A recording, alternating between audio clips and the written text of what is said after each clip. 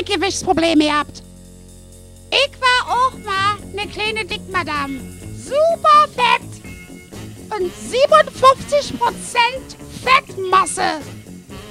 Ich weiß genau, wie es ist, ein fettes Schweinchen zu sein.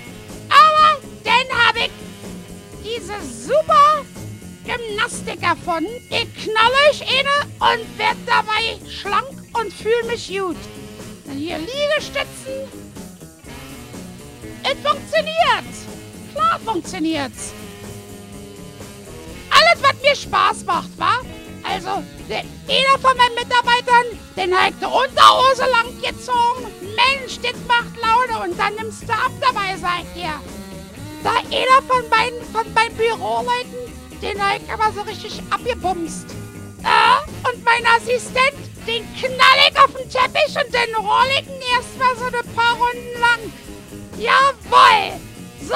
du schlank, sagt ihr. Und hier ist mein Rezept.